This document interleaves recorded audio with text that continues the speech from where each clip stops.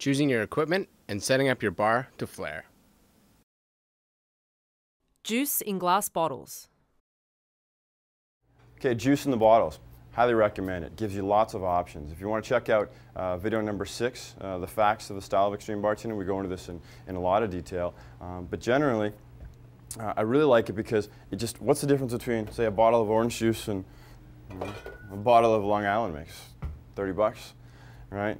It's just cost, right? Same risk.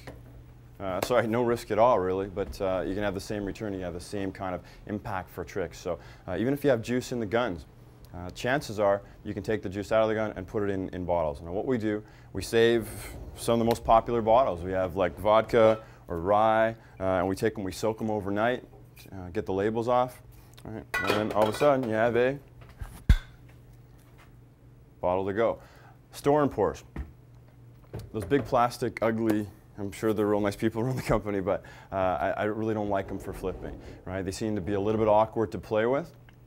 And uh, this is just the more options you have, the better, right? So if you can, put them in there. Now there's some places in the States I know uh, that it's actually against uh, the health regulations to actually use different bottles. So um, check it out. Check it out with your manager. Check it out with your health board.